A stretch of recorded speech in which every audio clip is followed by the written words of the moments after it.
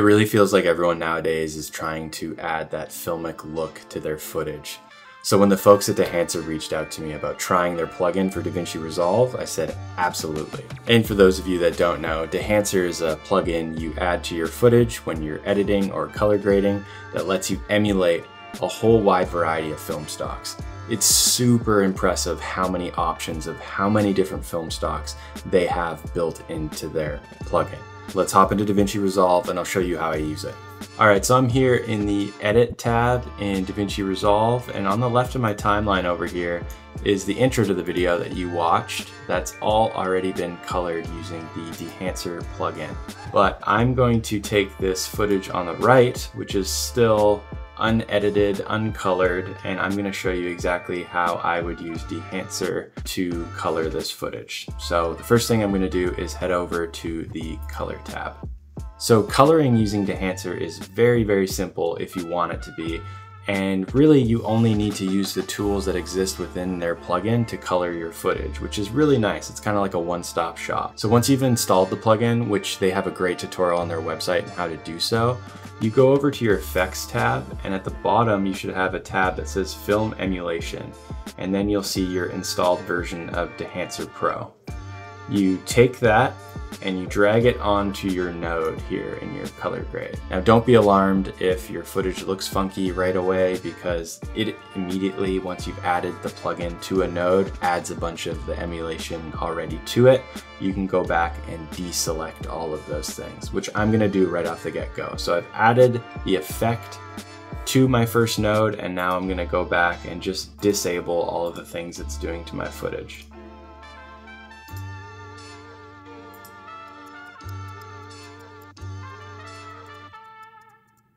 So I've gone through the Dehancer panel and just deselected everything so nothing is enabled from the plugin. And I'm methodically just gonna go from top to bottom and work my way through the plugin to build the look I want for my footage. And the nice thing about Dehancer is there's really no node-based grading unless you want there to be. Everything is going to exist on this panel on the right. So the first thing I'm gonna do is enter in the camera information so it can transform my footage into a Rec 709 color space. So this footage I know was shot on a Sony FX3. So I'm gonna choose camera, Sony FX3, and it was shot in S-Log3 S-Cine Gamut. So once I've entered in that information correctly, I can then use the rest of this panel to change the exposure or temperature of my footage.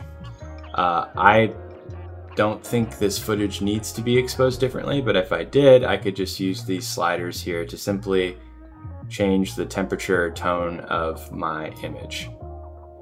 I think that's looking pretty good. Once that's all done, I get out of the input here and I go over to the film. And now this is really where the magic happens for this plugin. This is where you get into what film the plugin will be emulating for you. So as you can see when I drop down this menu, there are so many cool options. There's Fujifilm emulations, there's Ilford emulations, there's a whole butt ton of Kodak emulations, there's Lomochrome, there's Polaroid, there's Rollei.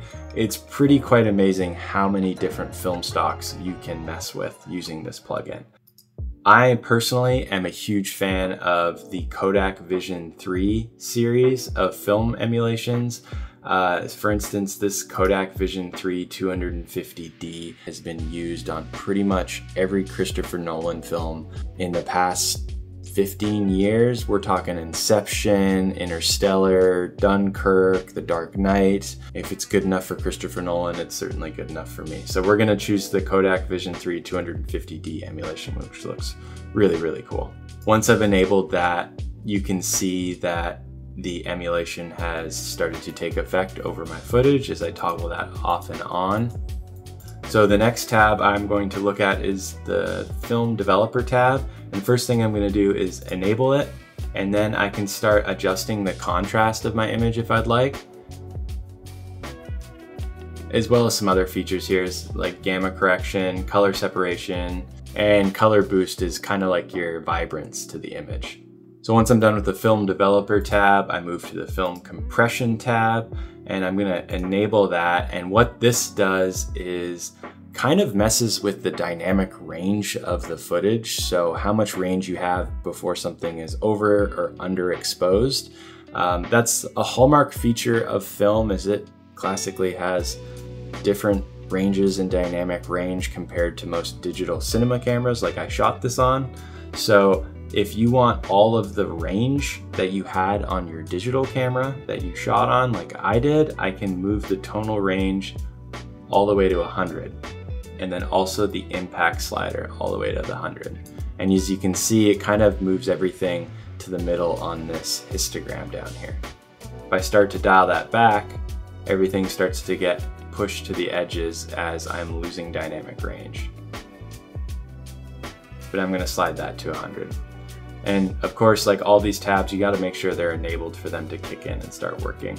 And what's really nice is editing in Dehancer is kind of like editing in Lightroom, whereas if you do something you don't like, you just click edit undo and you're back to square one. So I'm gonna close the film compression tab and the next thing I'm gonna move over to is the print tab.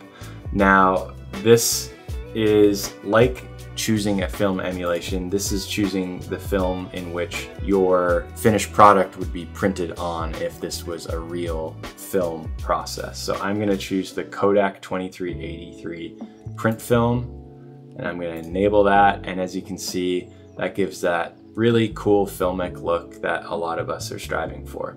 One of the other big hallmarks of what makes film film is grain. So I'm gonna head over to the film grain tab and I'm gonna enable that and you can see immediately it's added awesome filmic grain to my footage. Now, they give you all sorts of different types of grain to choose from, everything from 8 millimeter to 65 millimeter.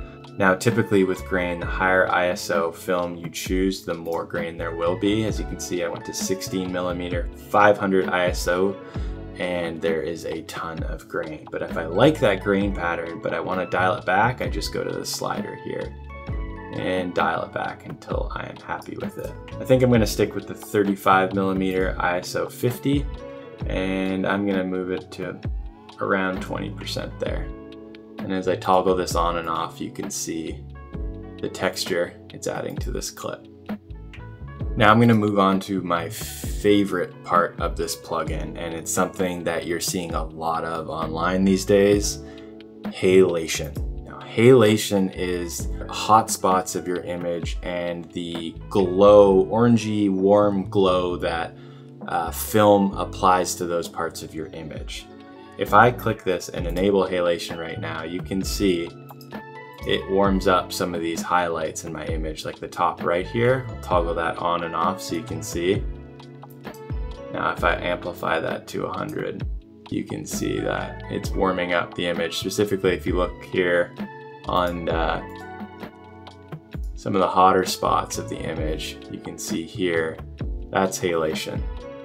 Now, just like grain, there are different types of halation you can add. There's Super 8, 16 millimeter, 65 millimeter, 35 millimeter, and I think I'm going to stick with the 35 millimeter. And I'm going to leave it at 70. I'm kind of liking the way that's looking. The next thing I'll move on to is bloom. And like halation, it uh, affects primarily the uh, brighter tones in your image and kind of softens them. And I'm gonna, again, leave that at 35 millimeter and leave it at 50%. From there, there are a bunch more things you can do. You can add film damage to your image, add these little cracks and, and little specks all over your footage, just like if it was actual film. Uh, there's film breath, which again, a similar type of effect. It's going to uh, add the imperfect characteristics of a film moving through a camera. And that is also with the gate weave, and then there's things like overscan, which give you different overlays to throw over your footage. This is again really popular on social media. One of the nice things too about this is once I've created a film look that I'm really happy with, uh, I can simply just click this node here and copy it.